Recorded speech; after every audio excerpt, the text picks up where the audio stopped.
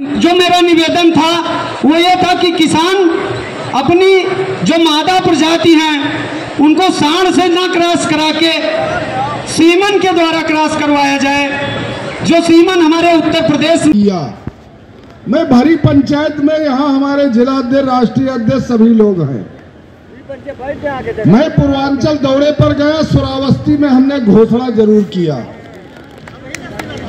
लेकिन मैंने किसी भी एक आदमी को जनपद मंडल अध्यक्ष हमारे प्रदेश कार्यकारिणी के लोग हैं, राष्ट्रीय प्रवक्ता सभी लोग हैं। मैंने प्रत्येक व्यक्ति से कहा था, जब 75 ज़िले का मैंने गुणा किया 75 गुड़े 33 तो 1900 कुछ लोगों का फिगर हमारे पास आया।